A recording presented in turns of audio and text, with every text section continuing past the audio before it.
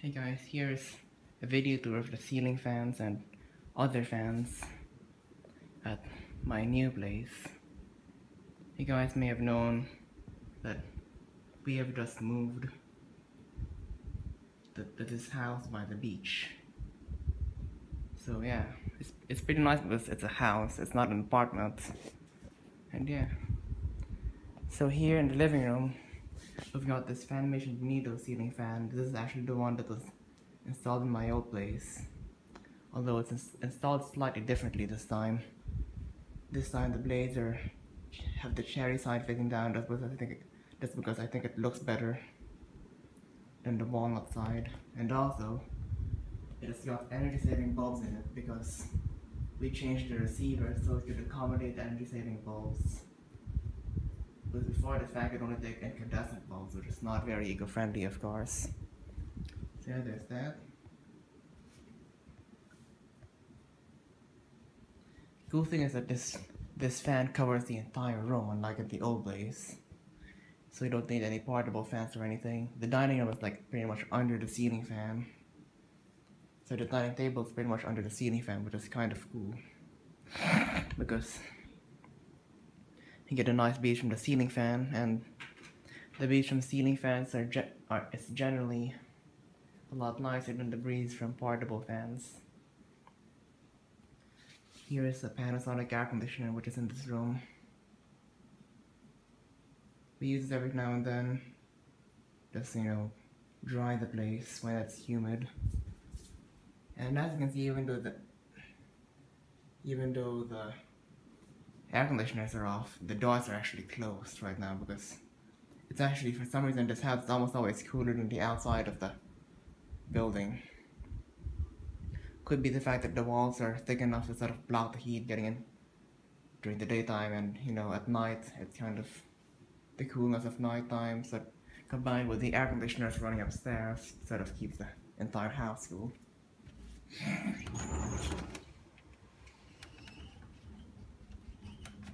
Yeah.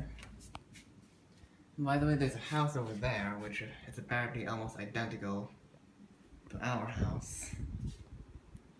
It seems. So maybe this house is uh, comes out of a standardized blueprint. Although their house is very different inside. Like they've got one of those annoying hidden air conditioners, which is just ba and, and basically just just a louver in the wall. I hate those honestly because you know you can't have an oscillating louver. In the kitchen we got this odd thing. As you can see, it's a kitchen range hood that that that that extends and retracts electronically. And yeah.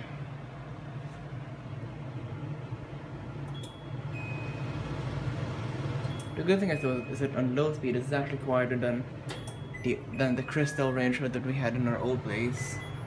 That thing was loud, even on low speed. And yeah.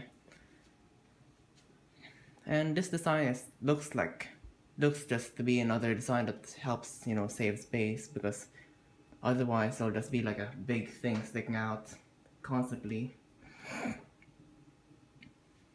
So this is kind of safer almost, I guess you could say.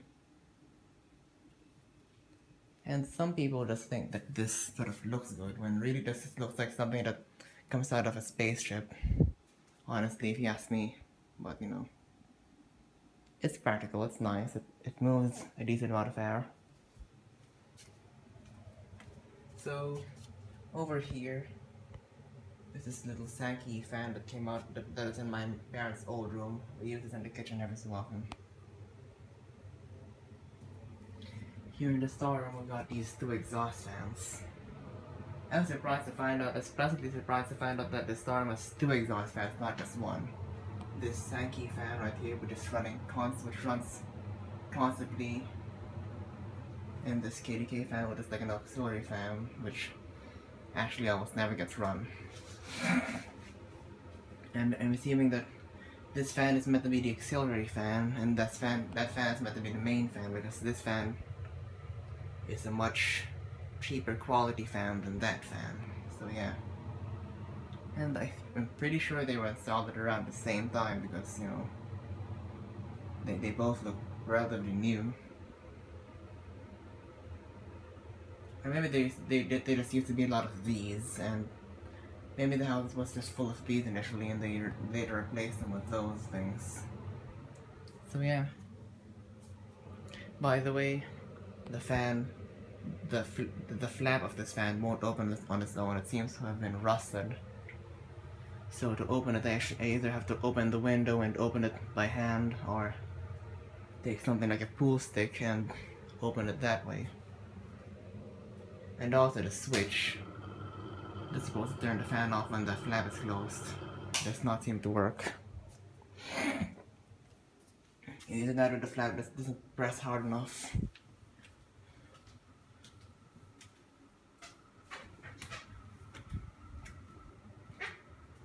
In this bathroom right here, we got this other Sankey exhaust fan, which runs pretty much constantly as well unless my mom turns it off for whatever reason. Last time she turned it, last time she turned it off, she just turned off the wrong switch.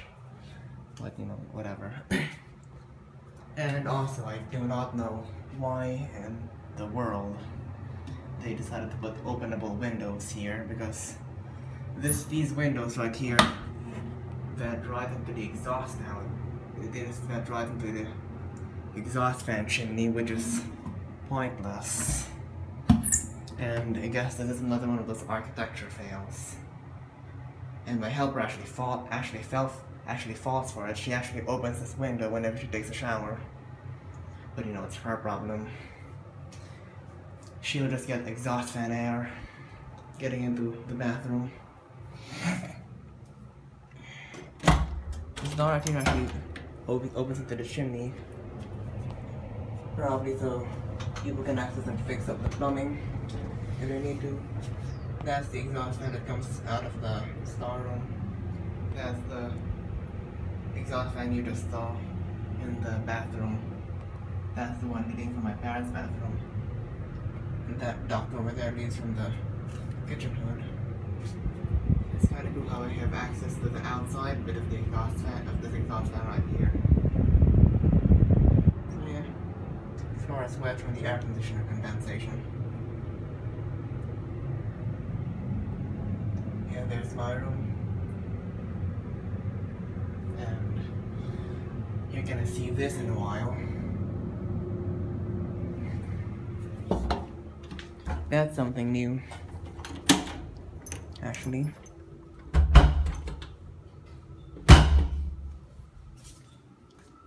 Over here in my room, we've got this new SMC Hampton Bay Minuet 2, which just was just delivered and installed yesterday. And despite what someone on Facebook told me about it being a weak fan, it actually moved a lot of air. I don't know why he thought it was weak. Maybe when he thought it just wasn't running on high speed or whatever. But it actually moves a lot of air for this little eh, for this little room right here.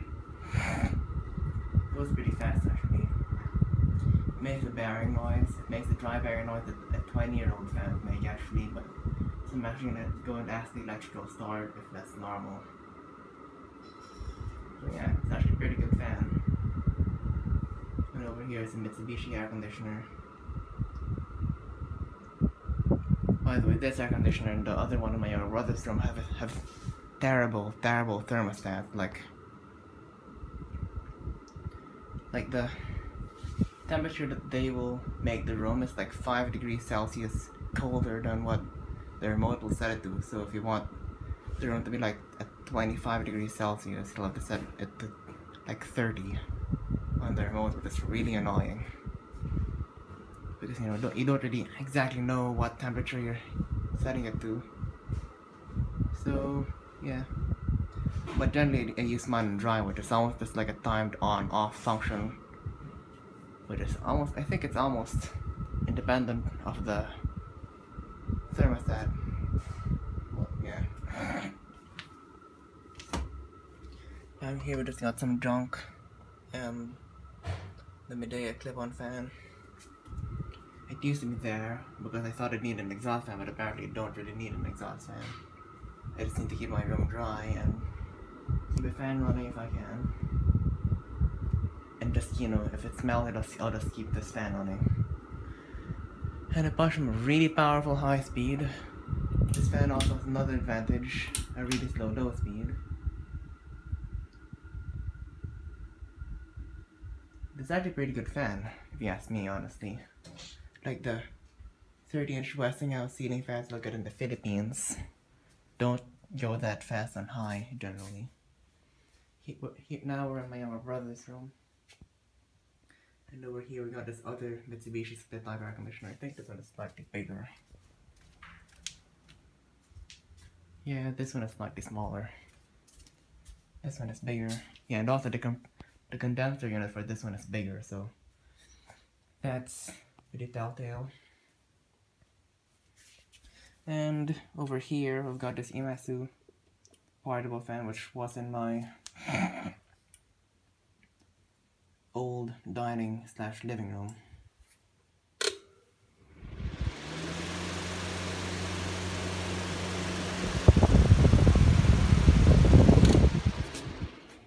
So yeah, there's that.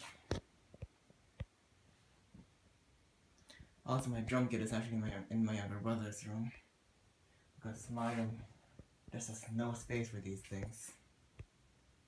We could have put a ceiling fan in this room actually, but either we could have actually put a ceiling fan in this room, but with that bunk bed being there, a ceiling fan there wouldn't really be safe, and you know.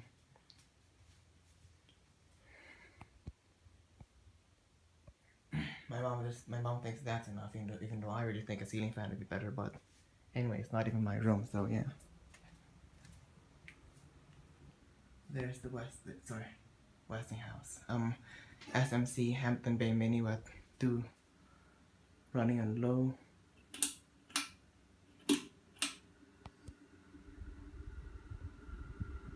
Feedback on high.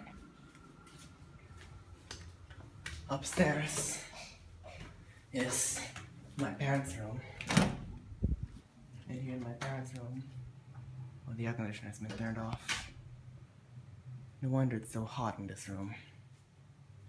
In my parents' room, we've this Imasu pedestal fan, which was in my old living slash dining room.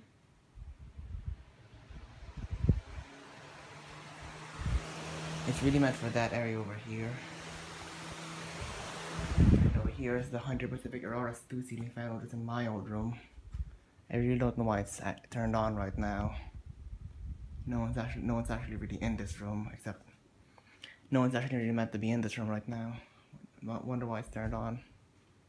I asked my mom about. Maybe she just wants to keep the air circulating. Here's the general inverter air conditioner. This air conditioner is pretty good with it's an inverter and yeah, I'm thinking they put an inverter in this room instead of in the rooms downstairs because this is the most this would be the most used air conditioner in the entire house and it is actually because this room does get pretty hot so you know inverter air conditioners when they're on for a long time I heard I hear I, I hear stuff about them using a lot less power than regular air conditioners when they're running for a really long time because you know starting and because you know starting the air conditioners takes up quite a bit of energy. Here's my parents' bathroom. I'm Not gonna reveal too much because I don't think they'll they like me showing their bathroom. We got just another Sankey exhaust fan. And once again, two stupid window panes. I really don't know why they're even there. They should just have another piece of glass there because you know opening this opening one of these windows will just give you air from exhaust fans. And there are even windows here.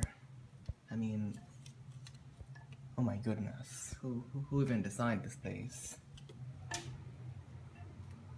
I'm gonna turn this light off, I'm gonna leave that fan on. My mom would have left it on for a reason.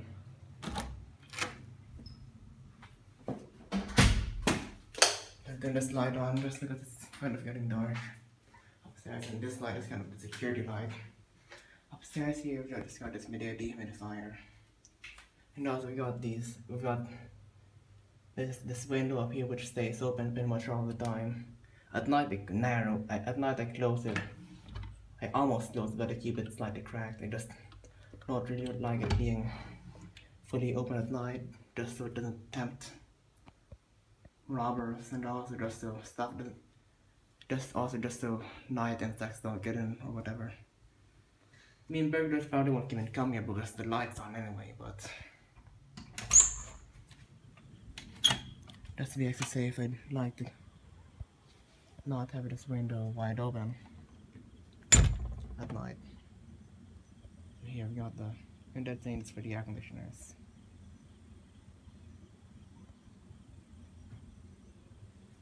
None of them are actually turned on right now, which is not really common. Usually, at least this one is on. In my bathroom, so in my helper's room. My helper's actually over there right now. I'd rather not spend much. I'd rather I'd rather not go in. Over there we've got the that's I don't remember what brand. Oh, sorry, Matsushita. But over there, over there, we've got that Matsushita fan that is in her old bedroom, and also the air conditioner, which you guys have seen in another video.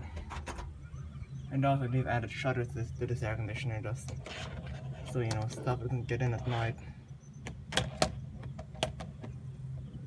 So that you know stuff doesn't get in when the air conditioner is turned off, and also when there's like a typhoon.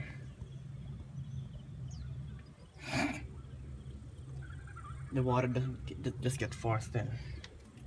The, basically, when there's a typhoon, the wind won't really blow water in to, the, to the tube.